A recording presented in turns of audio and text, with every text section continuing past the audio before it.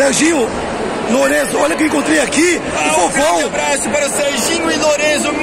Ai, é que legal, ai, legal ver vocês, que bonitinho.